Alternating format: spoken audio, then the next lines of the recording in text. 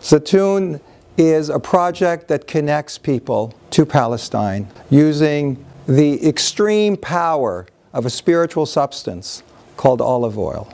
The taste of peace, it all revolves around the land of Palestine, the Holy Land, and how Zatoun is just a way for people to engage, to open their hearts, listen, and also enroll other people into this global struggle. It's not about them and over there.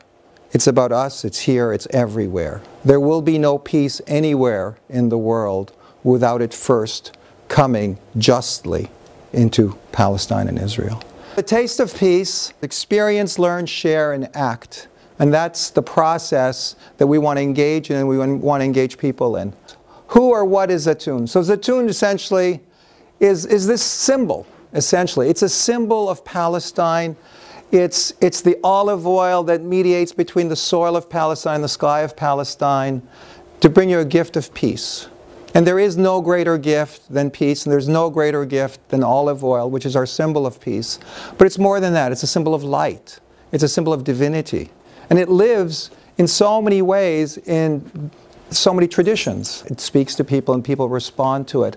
And I can't say that I found the olive oil. It's more like the olive oil found me and gave me my voice. So we don't bottle it here. We want to help the farmers in, by buying the oil. We want the press, the press operators. We want the, the bottlers and the laborers and the carton makers and the shippers. We want to benefit as many people as we can. And so it's maximum value added that remains behind. That's kind of always been the driving vision. Zatoun is not a company. We're not a food distributor. It's clearly a project. And that's all we do. And there, of course, it's the idea of peace in a bottle that speaks to people but something else, another name is uh, Palestine in a bottle. If you can't go to Palestine, Palestine comes to you in this bottle. Because in the content of the olive oil really is the land of Palestine. The tree is the symbol of Palestine. It is ubiquitous, it is all over the landscape. Life depends on the olive tree. And it's not just an economic sense. It is a, truly a, in a greater cultural, life-giving way. And it also represents, of course, the nourishment and sustenance of the people.